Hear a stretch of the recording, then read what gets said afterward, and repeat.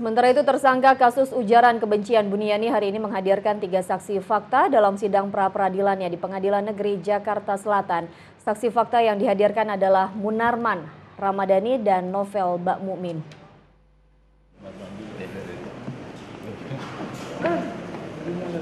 Munarman, Ramadhani, dan Novel Bamukmin menjalani proses pemeriksaan secara bergantian oleh kedua tim kuasa hukum, baik pemohon maupun termohon.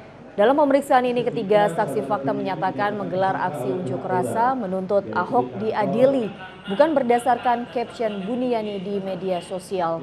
Buniani bahkan mengatakan tindakan kepolisian yang menahannya berdasar tiga kalimat dalam statusnya di media sosial sebagai hal yang mengada-ada. Selain menghadirkan saksi fakta, sidang Buniani juga menghadirkan tiga orang saksi ahli.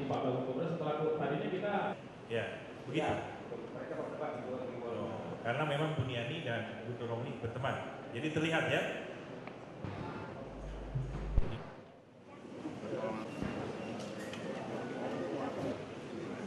Sebelumnya pihak termohon yaitu Polda Metro Jaya melalui kuasa hukumnya mengatakan penangkapan terhadap Buniani telah sesuai prosedur.